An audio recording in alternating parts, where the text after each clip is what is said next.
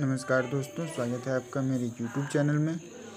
दोस्तों, आज मैं प्रूफ करके दिखाऊँगा कि one is equals to two कैसे होगा। दोस्तों, हम लोग लेट करेंगे। A is equals to B इसके बाद हम ए से दोनों साइड मल्टीप्लाई करेंगे। A into A into B A square is equals to A B हो जाएगा। इसके बाद हम दोनों साइड्स में बी स्क्वायर को माइनस करेंगे।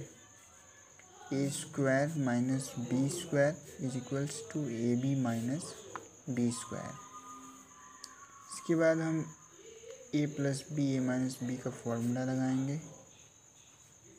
इसके बाद इसमें बी कॉमन हो जाएगा A minus B cancel A minus B to A minus B हमारे पास A plus B is equals to B बच जाएगा। जैसे कि हमने लेट किया है कि A is equals to B है तो हम यहाँ ए को बी कर देंगे plus B is equals to B two B is equals to B and B cancel out B two is equals to one और one is equals to two ये हमने प्रूफ कर दिया दोस्तों। एनी डाउट कोई भी डाउट हो, आप कमेंट में मुझसे पूछ सकते हैं। कैसी लगी वीडियो? अगर वीडियो अच्छी लगी हो प्लीज़ लाइक करिए, सब्सक्राइब कीजिए। नया चैनल है मेरा, थोड़ा सपोर्ट करिए दोस्तों।